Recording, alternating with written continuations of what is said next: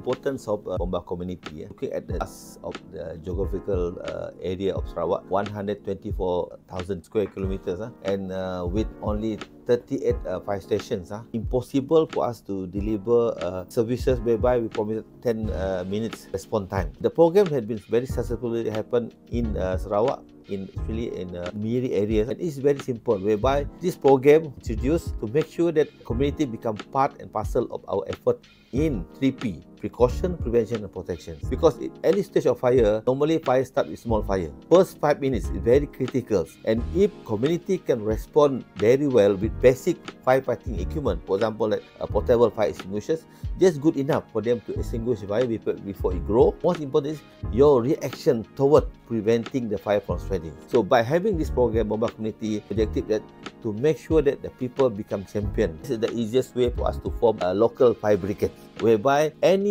champion among the community, the leaders, the menggong, tuan rumah, whatever, they can form a group of people, then we appoint them become Bomba community, we give proper training. While waiting for the Bomba to set the, the, the fire stations, think up uh, some people request why we don't have fire station. And to operate a fire station in every these locations, uh, it costs a lot of money. Short uh, planning is that we form a bomba community. Uh, then this is the best way for us uh, to train the community, let them take care their own properties because this is very important and part and parcel of the government and how they could contribute better to the safety of our community in Sarawak.